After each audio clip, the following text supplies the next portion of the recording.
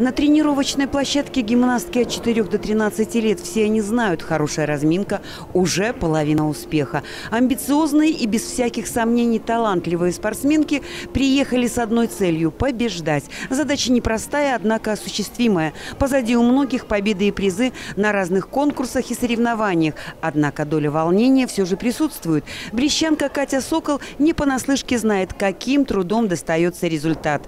Гимнастикой девочка занимается 7 лет лет. К каждому соревнованию спортсменка подходит серьезно. На международном конкурсе «Баби Кап» мы с Виолой заняли третье место, в Минске проходил.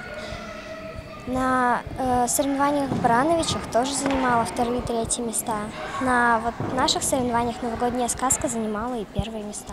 Вот что для тебя участие в этих конкурсах? Наверное, учусь не бояться площадки, не бояться судей учусь на своих ошибках.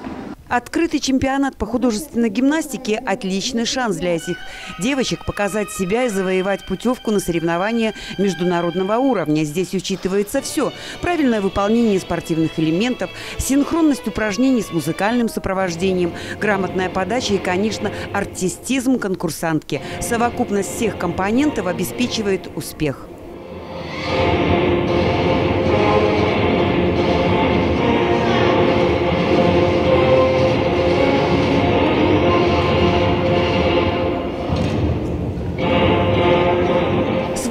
В этот день успешно справлялись участницы соревнований. По выступлениям гимнасток можно было смело судить о высоком уровне их подготовки. пока девочки показывали класс на главной спортивной арене, за кулисами соревнований за них переживали преподаватели.